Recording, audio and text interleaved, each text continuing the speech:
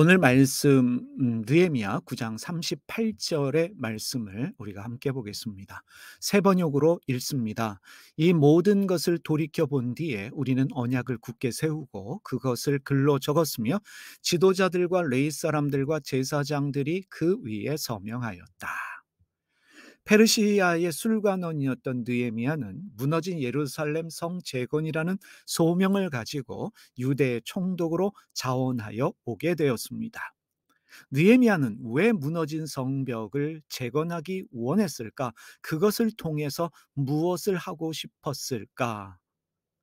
유대 나라는 바벨론에 의해서 멸망했습니다. 예루살렘 성전과 성은 무너지고 많은 사람은 바벨론의 포로로 끌려갔습니다. 나라가 없어졌지요. 민족의 정체성도 사라진 상태였습니다. 느헤미야는 무너진 예루살렘 성을 재건함으로 유대인의 정체성을 회복하고 무너진 민족의 자존심도 회복하려고 하고 있습니다. 그래서 느헤미야는 자원하여 유대 총독으로 온 것입니다. 이 모든 일들을 하나님이 나에게 주신 소명이다라고 여겼기 때문에 술관원보다 낮은 자리인 유대 총독으로 자원하여 온 것입니다. 느헤미야가 무너진 예루살렘 성벽을 재건하려고 유대 땅에 왔습니다. 방해하는 사람들이 있었지요. 산발락과 도비아와 같은 이방 사람들의 반대에 부딪히게 되었습니다. 그들은 무시했습니다. 협박했습니다. 가짜 뉴스와 같은 소문을 만들어서 느헤미야를 공경에 빠뜨리고자 했습니다. 심지어요 성직자들을 매수해서 거짓 예언을 하게 함으로 느헤미야가 하려는 일을 중단시키려고 했습니다. 그런데 느헤미야는 두려워하지 않았습니다. 요동하지 않았습니다. 자기 자리를 지키며 자기가 해야 될 일에 집중했습니다. 내부적으로 문제들이 생겼습니다. 부자들이 가난한 자들을 상대로 돈놀이 하면서 가난한 자들을 착취하고 있었습니다. 가난한 사람들이 고금리에 시달리면서 사람들이 집과 땅을 빼앗기고 자녀들을 노예로 파는 일들이 일어났습니다. 이러한 일을 알게 된 느헤미야가 부자들을 꾸짖고 그들에게 하나님의 법으로 돌아갈 것을 요구했습니다. 무엇보다도 느헤미야는 자신이 총독의 월급을 받지 않으면서 자신이 이런저런 모습으로 본을 먼저 보입니다. 자기가 먼저 희생합니다. 느헤미야는 외부와 내부의 문제를 적극적으로 해결하면서 성재건 공사에 집중했고 결국 52일 만에 성벽 재건 공사를 끝냈습니다. 사람들이 자발적으로 수문 앞 광장에 모여들었고 제사장 겸 학자인 에스라에게 율법의 말씀을 들려주십시오 요구하게 됩니다. 사람들은 말씀을 들었고 감동을 받았습니다. 초막절에 대한 기록을 발견하고 초막절을 회복하여 축제로 지냈습니다. 온 공동체가 기쁨으로 충만했습니다. 거기서 끝나지 않았습니다. 예루살렘 성전과 성이 무너지고 나라가 망하고 포로로 끌려간 이유가 무엇인지 자신들의 지난 역사를 돌이켜 보면서 자신들의 현실의 문제를 인식하기 시작합니다. 다시 말하면 우리가 왜 망했지? 왜 우리가 망하고 포로로 끌려갔을까? 그것을 역사 공부를 통해서 자신들의 문제를 발견하며 자신들의 문제를 해결하려고 했습니다.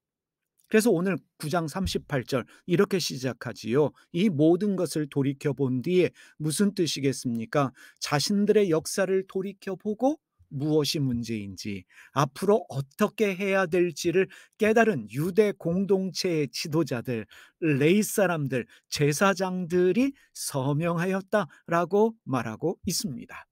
주목해서 보시기를 바랍니다. 유대 공동체의 지도자들은 나라가 망하고 그리고 포로로 끌려간 문제의 원인을 자신들에게서 찾았습니다. 그래서 자신들이 먼저 솔선수범하기로 결정한 것입니다. 우리는 언약을 굳게 세우고 그것을 글로 적었으며 지도자들과 레이 사람들과 제사장들이 그 위에 서명하였다. 지도자들이 내 탓이라고 말하면서 자신들이 먼저 반성하고 있습니다. 이렇게 하면 지도자들이 내 탓이라고 말하며 솔선수범하는데 지도자들이 먼저 반성하는데 따르지 않을 사람이 어디 있겠습니까? 지도자가 희생하면 지도자가 본을 보이면 국민들은 따라가게 되어 있습니다. 이 모든 일들은 느에미아라고 하는 탁월한 한 사람의 지도자 때문에 생겨난 변화들입니다. 지도자 한 사람만 바로 서도 큰 변화가 일어날 수 있습니다. 이 문제가 많은 나라들, 문제가 많은 공동체를 보면 지도자들이 앞에서는 부정부패 척결을 외치죠. 공의와 정직을 말합니다. 그런데 뒤에서 뇌물을 받는 등의 부정부패 행위를 하고 있습니다. 그러면서 국민들에게 정직을 말하고 희생을 요구한다면 그 나라가 공동체가 제대로 돌아갈 수 있겠습니까? 임진왜란 당시를 생각해 보시기 바랍니다. 당시의 왕이 선조인데 선조가 전쟁의 징후가 있음에도 불구하고 전쟁을 대비해서 대책 세우지 않았습니다. 전쟁이 발생한 후에도 먼저 도망갔어요. 백성을 위해서 백성을 지키겠다 어떠한 마음도 가지지 않았습니다. 먼저 도망갔습니다. 선조는 무능했습니다. 그래서 백성들이 피해를 받았지요.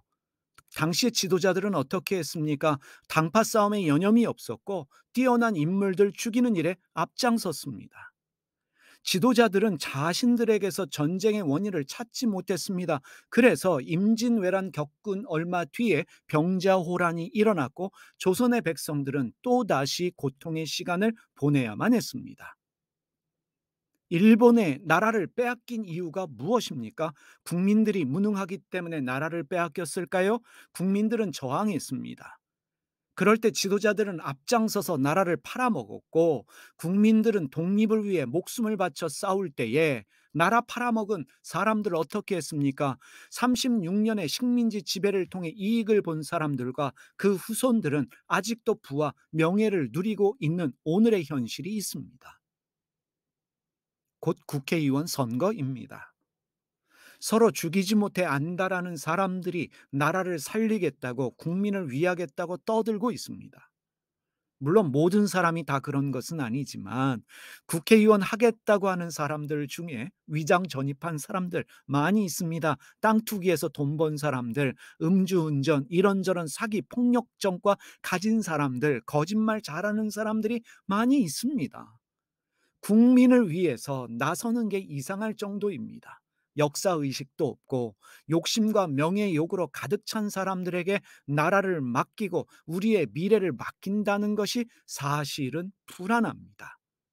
과연 누구에게 표를 주어야 할지 고민이 많은 것이 사실입니다. 느에미아는 소명의식이 있었습니다. 역사의식을 가지고 있던 지도자입니다. 부와 명예를 멀리한 지도자였습니다. 하나님을 경외하는 지도자였고 두려움이 없었던 지도자였습니다. 자기를 희생하며 본을 보인 지도자 그가 느헤미야입니다. 이런 지도자가 한국 사회에 많이 생겨났으면 좋겠습니다. 이번 국회의원 선거에 당과 상관없이 숨어 있는 느헤미야와 같은 사람들이 많이 당선되어서 나라와 국민들을 위해 일했으면 헌신했으면 참 좋겠다라는 기대와 소망을 가져봅니다. 이 일을 위해서 우리 함께 기도하셨으면 좋겠습니다. 기도하겠습니다.